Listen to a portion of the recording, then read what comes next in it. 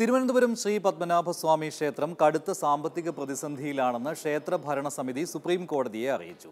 ക്ഷേത്രത്തിന്റെ ദൈനംദിന ചെലവുകൾ വഹിക്കേണ്ട ട്രസ്റ്റിന്റെ കഴിഞ്ഞ ഇരുപത്തിയഞ്ച് വർഷത്തെ വരവ് ചെലവ് കണക്കുകൾ ഓഡിറ്റ് ചെയ്യണമെന്നും ഭരണസമിതി ആവശ്യപ്പെട്ടു. ഓഡിറ്റിൽ നിന്ന് ഒഴിവാക്കണമെന്ന ട്രസ്റ്റിന്റെ ആവശ്യം വിധി പറയാനായി സുപ്രീം കോടതി മാറ്റിവെച്ചു.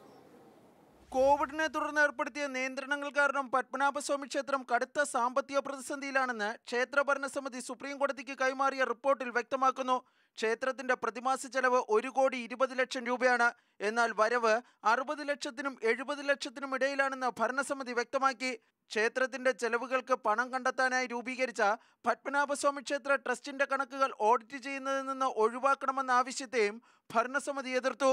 വിനോദരായ് സമിതി നടത്തിയ ഓഡിറ്റിംഗിൽ ട്രസ്റ്റിന്റെ കയ്യിൽ പണമായി രണ്ട് ദശാംശം എട്ട് ഏഴ് കോടി രൂപയും ഒന്ന് ദശാംശം ഒൻപത് അഞ്ച് കോടിയുടെ ആസ്തിയുമുള്ളതായി കണ്ടെത്തിയിരുന്നു. രണ്ടായിരത്തി എട്ട് മുതൽ പതിനാല് വരെയുള്ള കണക്കുകളാണ് വിനോദരായ് സമിതി ഓഡിറ്റ് ചെയ്തിരുന്നത്. അതിനാൽ തന്നെ സുപ്രീം കോടതിയുടെ മുൻ ഉത്തരവ് പ്രകാരം ട്രസ്റ്റിന്റെ കഴിഞ്ഞ ഇരുപത്തിയഞ്ച് വർഷത്തെ കണക്കുകൾ ഓഡിറ്റ് ചെയ്യണമെന്ന് ഭരണസമിതി ആവശ്യപ്പെട്ടു. കോടതിക്ക് ആവശ്യമെങ്കിൽ കണക്കുകൾ ഓഡിറ്റ് ചെയ്യാൻ നിർദ്ദേശിക്കാമെന്ന് ട്രസ്റ്റ് വ്യക്തമാക്കി. എന്നാൽ തങ്ങളെ ഭരണസമിതിയുടെ നിയന്ത്രണത്തിലാക്കരുതെന്നും ട്രസ്റ്റ് കോടതിയോട് അഭ്യർത്ഥിച്ചു. B Balagopal Mathrubhumi news Delhi.